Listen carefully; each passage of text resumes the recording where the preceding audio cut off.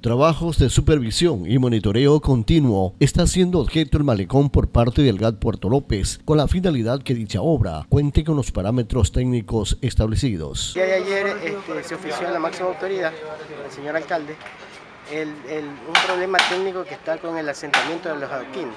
Aquí en esta área de acá no están haciendo cambio de suelo, no sé realmente las razones técnicas por las que, yo no conozco las razones técnicas por las cuales no estén haciendo cambios. En el tramo 2 por el sector desde la calle General Córdoba hasta donde están colocando que es la Mariscal Sucre ya se ve asentamiento y los adoquines están partidos.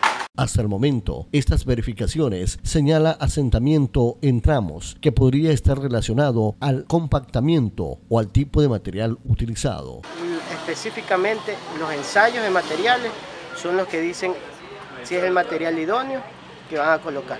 Estamos solicitando todos los ensayos de materiales del tipo de suelo, que tiene esa calzada al contratista porque nosotros solo somos eh, estamos supervisando. Después, cuando ya una obra está realizada, de pronto decir no, no, no, no nos tomaron parecer.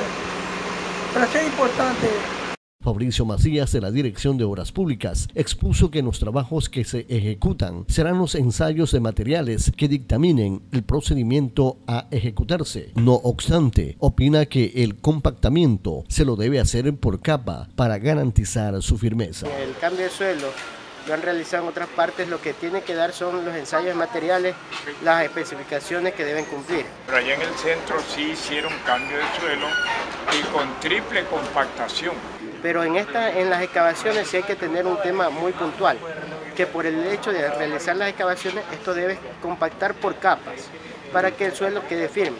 Asimismo, el funcionario dejó claro que el rol que cumple el GAT Puerto López es la supervisión para garantizar esta obra ejecutada por el gobierno nacional. Entonces, estamos haciendo el seguimiento, eh, como te digo, somos solo supervisadores del tema porque la fiscalización eh, la ejerce directamente la SECOC con la administración de contratos y la contratista que es muy aparte.